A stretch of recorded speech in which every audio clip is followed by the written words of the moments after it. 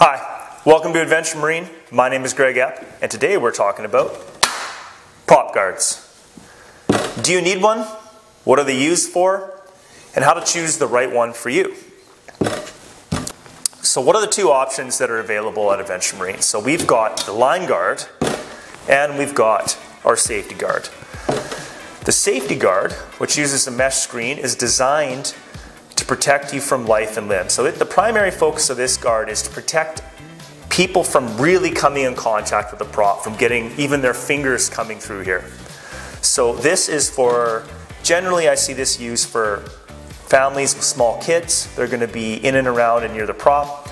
Alternatively, the propeller line guard. This makes up about 90% of our sales and I'd say is likely the best option for you if you're considering a prop guard. So made of 304 stainless steel, the guard is corrosion resistant, very robust, will protect your prop from a strike, will definitely work as a line guard, which is where the name comes from. So any fishing lines, downriggers, anything like that, it's gonna keep them out of your prop. Performance-wise, you're only gonna get about a three to 4% drop in top speed. So that's pretty insignificant. That works out to be in most boats about two miles an hour, I'd say between one and two miles an hour. The bigger the bigger the horsepower, the less that less that percentage seems to make a difference. What size is right? What size do you need?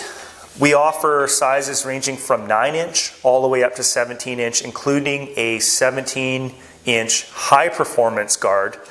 That's for boats over 200 horsepower. So make sure you get the right measurement. You're going to be measuring between the anti-cavitation plate and the skeg.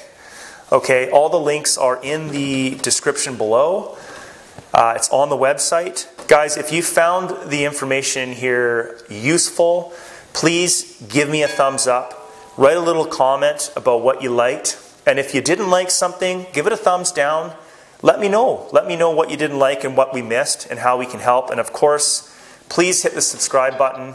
That helps us get the content out there and share it with people that might find this useful.